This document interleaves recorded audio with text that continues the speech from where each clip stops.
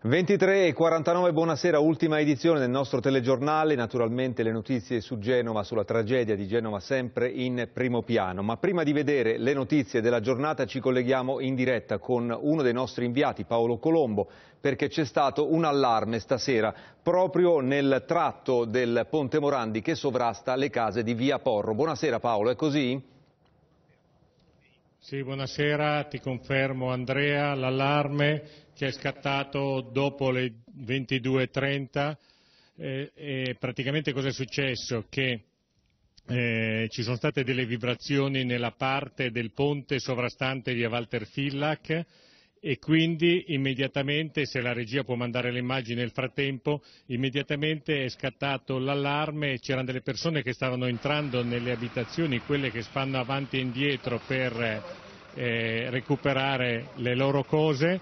E eh, è stato dato l'allarme via tutti, via anche i pompieri, via i vigili del fuoco, eh, abbiamo chiesto conferma pochi minuti fa a un funzionario dei vigili del fuoco e ha detto la zona è pericolosa, fino a domani mattina là dentro non potrà entrare nessuno, quindi fuori tutti dalla zona rossa, queste vibrazioni sono le prime che vengono sentite da quando è crollato il ponte martedì scorso, quindi è il primo serio allarme.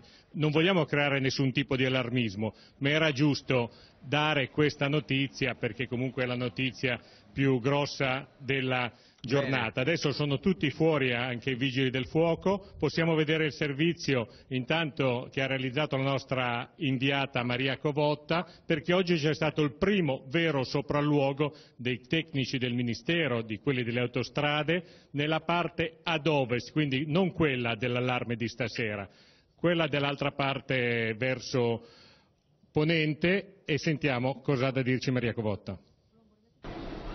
La Procura di Genova ha autorizzato la messa in sicurezza di questa parte del viadotto. Gli accertamenti sulle cause del crollo entrano nel vivo e andranno avanti per giorni, non solo con ispezioni dirette, ma soprattutto con le analisi scientifiche delle macerie, perché da ogni singolo pezzo di calcestruzzo, ferro o cemento può arrivare una risposta utile per capire la dinamica del disastro e quindi anche l'origine. Secondo Roberto Ferrazza, presidente della commissione ispettiva del Ministero dei Trasporti, ancora non si sa cosa si sia rotto per primo. Potrebbe essere stato uno strallo, una delle strutture diagonali che reggono il ponte, ma forse potrebbe avere ceduto una mensola, una delle enormi lastre su cui appoggia l'impalcato, cioè la strada. È stata una rottura a provocare un movimento della struttura non equilibrato, il ponte si è storto e poi è caduto, rivelerebbero i primi rilievi. Anche le carte potranno dare risposte a questo disastro, documenti sullo stato del ponte, sui lavori fatti e in programma, come quelli che sarebbero dovuti iniziare in autunno sul pilone 9 e 10, la gara d'appalto conclusa a giugno su un progetto nato tre anni fa. Lo Stato non può abdicare alla funzione di controllo, ha detto in un'intervista il procuratore capo di Genova. La sicurezza non può andare ai privati. Intanto le prime 11 famiglie entreranno domani nelle case messe a loro disposizione nel quartiere di San Biagio. Entro il 20 settembre altre 20 saranno pronte per gli sfollati costretti ad abbandonare le proprie abitazioni sotto il ponte Morandi. Intanto sono iniziate le ispezioni dei tecnici di autostrade che insieme ai membri della commissione voluta dal Ministero delle Infrastrutture osservano osservano, camminano sul troncone lato ovest del viadotto sul Polcevera, una qualsiasi anomalia visibile ad occhio nudo. Increspature sull'asfalto o segnali bruschi di distacco dei giunti lungo la strada. E allora grazie a Paolo Colombo, naturalmente per tutti gli aggiornamenti vi rimandiamo all'edizione delle 7.30 del telegiornale. Il governo è con Genova e con i genovesi con gesti concreti. Il Presidente del Consiglio Conte usa Facebook per ribadire le priorità. Un fondo di 28 milioni e mezzo, oltre i 5 stanziati all'indomani della tragedia per la viabilità alternativa, il sistema dei trasporti e le case a chi ha dovuto abbandonare le abitazioni. Il governo guarda anche oltre l'emergenza. Il sottosegretario Palazzo Chigi, Giorgetti, ha lanciato un piano per le infrastrutture, un'operazione di messa in sicurezza di strade e ponti, ma anche di scuole ed edifici a rischio a causa del dissesto idrogeologico. Un'iniziativa che ha già incassato l'appoggio di Forza Italia. Sempre più incandescente lo scontro Italia-Malta sulla nave Diciotti con oltre 170 migranti a bordo eh, che attende un porto nel canale di Sicilia.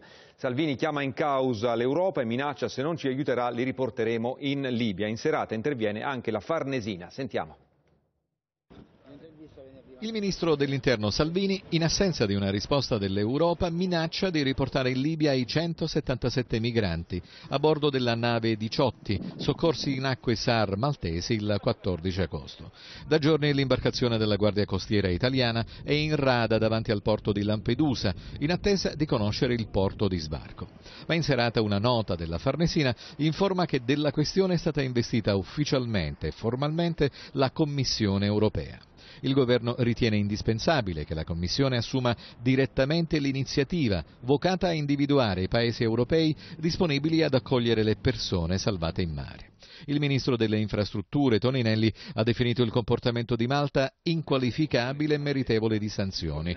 Il ministro dell'interno maltese Farrugia in un tweet aveva indicato come unica soluzione lo sbarco in un porto italiano, quello di Lampedusa. Ad una soluzione diplomatica sta lavorando, come dicevamo, il ministro degli esteri Moavero Milanesi, che ha invocato un'azione decisa che renda strutturale l'approccio di condivisione degli oneri da parte dei Paesi membri dell'Unione Europea.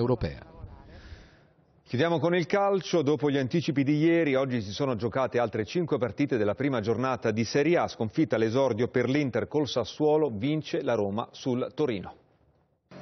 Aveva ragione Eusebio Di Francesco a dire che l'abbondanza è un problema da gestire con piacere. Al debutto sul difficile campo del Torino i gialloro si portano via tre punti proprio grazie ai cambi effettuati nel finale di gara. Tre pali contro uno dei Granata, le parate di Olsen, oltre a una rete dell'ex Iago Falchi annullata dal VAR e costata l'espulsione per proteste di Walter Mazzarri, sono stati il prologo al gol vittoria romanista, merito del giovane Justin Clivert, capace in pochi minuti di spaccare la partita e servire un assist al bacio calcio a Edin Dzeko, superlativo nel piazzare al volo il pallone per un gol a suo dire tra i migliori tre realizzati in carriera. Stecca invece rumorosamente la prima l'Inter di Luciano Spalletti che cade sul campo di un Sassuolo in graspolvere. Decide un calcio di rigore assegnato dall'arbitro Mariani per un fallo in area di Miranda su Di Francesco e trasformato con freddezza da Verratti. Nerazzurri arrembanti ma poco lucidi nel loro forcing con i cardi colpevoli di un grave errore sotto porta. Il Sassuolo sfiora per due volte il raddoppio poi nel concitato finale e consiglia a salvare il successo opponendosi all'incornata di De Vrij.